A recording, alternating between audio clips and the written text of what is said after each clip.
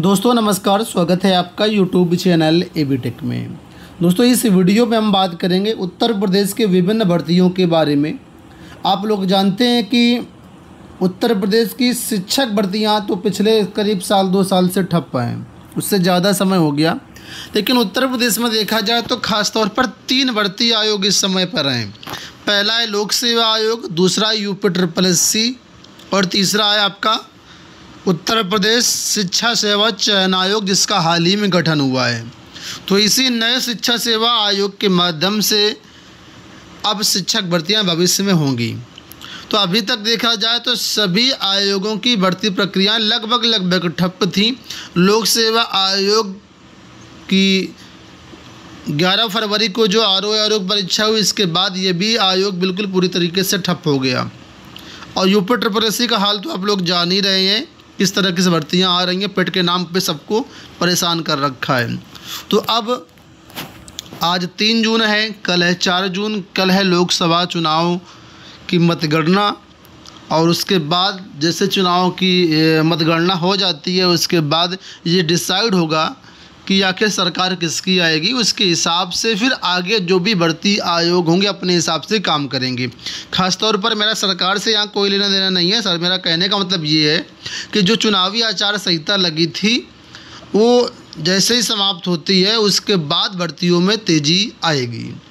आज के समाचार पत्रों में इसके बारे में भी अपडेट किया गया है कि पाँच जून के बाद भर्तियों में तेज़ी आएगी। जो तीनों आयोग हैं, उत्तर प्रदेश के, वो तेज़ी से काम करेंगी।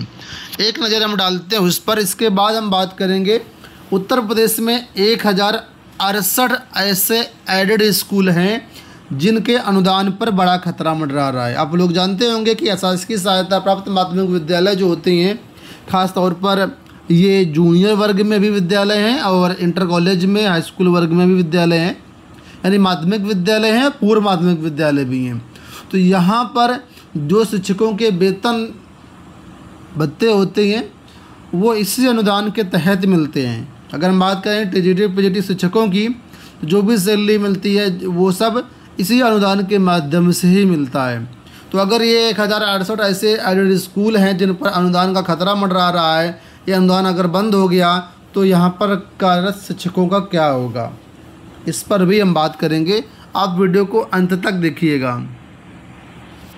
सबसे पहले यहाँ पर देखिए अपडेट है कि पाँच से पूरी रफ्तार से काम करेंगे तीनों भर्ती आयोग। तीन दिन बाद जैसे ही लोकसभा चुनाव की आचार संहिता खत्म होगी, तीनों भर्ती आयोग में हलचल शुरू हो जाएगी। लोकसभा चुनाव की वजह से पिछले दो महीने में कामकाज ठप पड़ा हुआ है।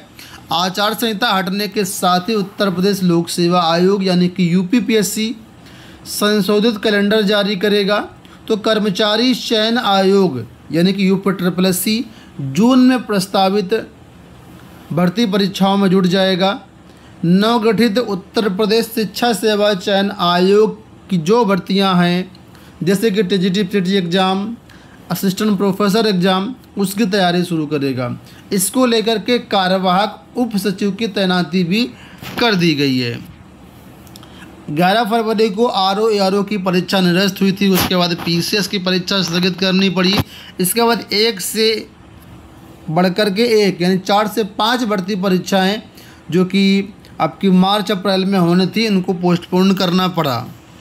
और अब हाल ये है कि कई ऐसी भर्ती परीक्षाएँ जो जून में हैं, जुलाई में हैं तो जब प्री परीक्षाएँ नहीं हो पाई हैं जैसे कि आर ओ आर ओ की पी सी एस की तो इसकी मेंस परीक्षाएँ भी पोस्टपोन्ड होंगी।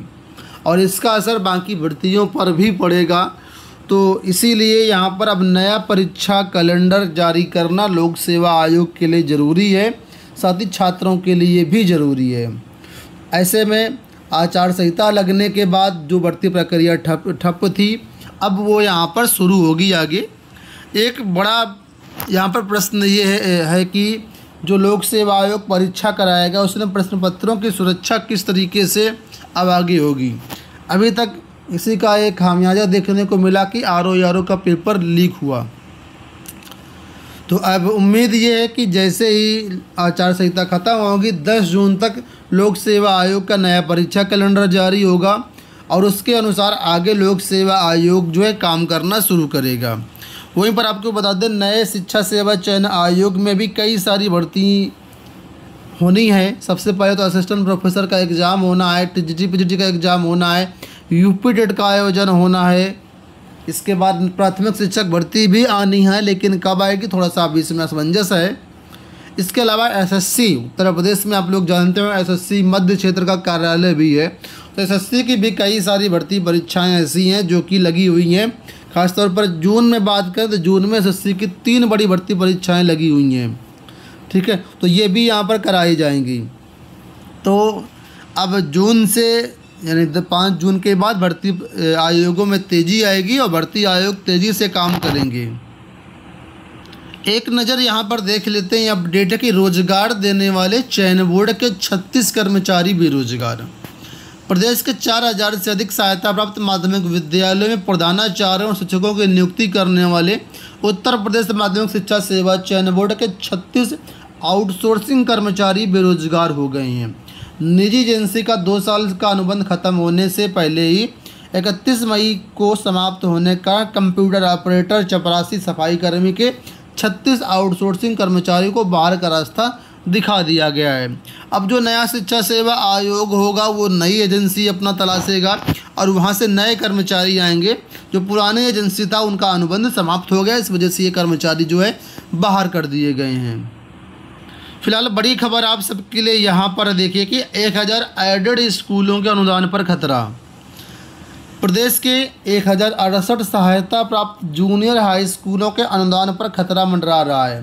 यू डाइस पोर्टल की रिपोर्ट के अनुसार इन स्कूलों में 2023-24 सत्र में कक्षा छः से आठ तक के छात्रों की संख्या सौ से कम है, जबकि सात सितंबर 2006 को जारी अनुदान सूची में इन्हें इसी शर्त पर शामिल किया गया था कि तीन साल में छात्र संख्या 105 से कम नहीं थी। बेसिक शिक्षा निदेशक प्रताप सिंह बघेल ने ऐसे स्कूलों की सूची भेजते हुए बेसिक शिक्षा अधिकारियों को छात्र संख्या में वृद्धि सुनिश्चित करवाने के निर्देश दिए हैं। छात्र संख्या नहीं बढ़ने पर अनुदान सूची से बाहर भी किया जा सकता है। तो यहाँ पर कंडीशन ये थी कि लगातार तीन सालों में छात्र संख्या सौ नहीं रहनी चाहिए सौ से ज़्यादा होनी चाहिए। लेकिन यहाँ पर लगातार जो है छात्र संख्या सौ से कम है। ऐसे में यहाँ पर सरकार इनका अनुदान समाप्त कर सकती है, क्योंकि इसका आदेश पहले ही सात सितंबर 2006 को जारी किया गया था और उस समय ये शर्त रखी गई थी कि आप अपने स्कूलों में जो है छात्र संख्या बढ़ाइए।